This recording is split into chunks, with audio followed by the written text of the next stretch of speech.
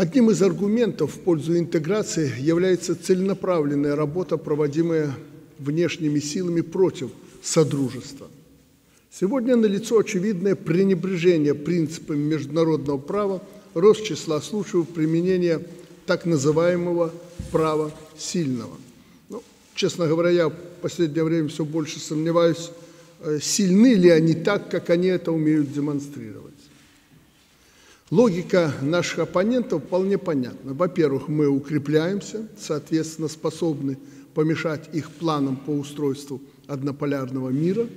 Во-вторых, наши страны обладают колоссальным потенциалом, что вызывает беспокойство у конкурентов. И самый главный наш потенциал всех нас, всех, это наш дух.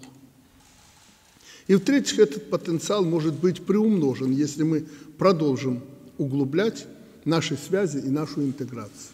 Вместе мы можем гораздо эффективнее противостоять новым глобальным вызовам, в том числе распространению коронавирусной инфекции.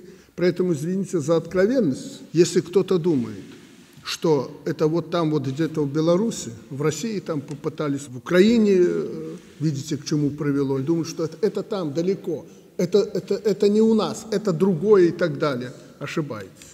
Мы никогда не думали, что в мирной, спокойной Беларуси с толерантным народом, вы это знаете не хуже меня, возможны подобные вещи.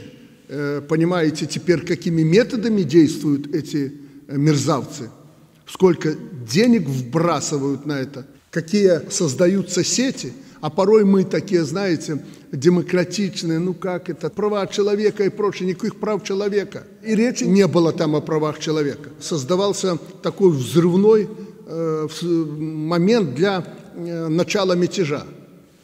Да многие из ваших государств, ну некоторые пережили, а некоторые ощущают это на себе. Все государства. Я знаю, что происходит, и вы тоже в наших государствах. Все мы это ощущаем. Поэтому нам как никогда нужна солидарность и единство. Надо просто делать то, что мы умели делать в прошлом веке.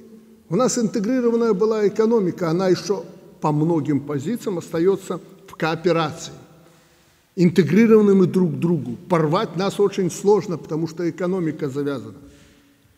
Давайте спокойно делать вот это дело, фундамент этот создавать, чтобы люди почувствовали, что да, есть толк, не только там от э, союзного государства, не только от Евразес и СНГ в том числе. Давайте не потеряем друг друга. Вот на моей памяти, когда я готовился к этой встрече, передо мной, перед глазами стоит опыт Украины.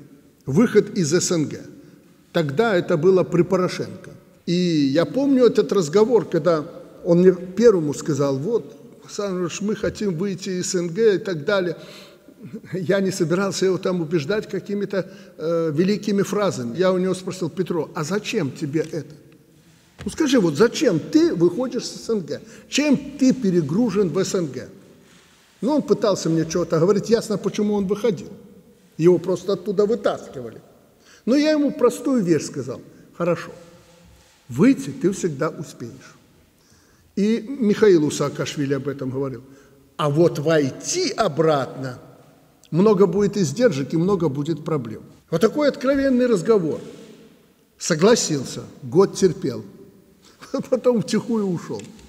Ну и что? Ну вот результат. Поэтому, уважаемые друзья, никогда не спешите. И еще одно. На злобу в Беларуси. Вы знаете, жизнь такая короткая. И, ну вот, как мгновение пролетает. И когда мы порой начинаем спорить на ровном месте, там э, делить э, рубль на четыре части, или тысячу кубов э, газа не можем установить какую-то цену, э, в то время как в Туркменистане его девать некуда.